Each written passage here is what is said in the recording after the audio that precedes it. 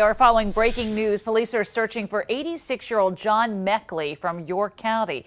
He was last seen in the area of Middle Street in West Manchester Township around 3:30 this afternoon. He's driving a silver 2008 Chevrolet Malibu with a Pennsylvania registration BRADINE. So if you've seen Meckley, you're being asked to call police.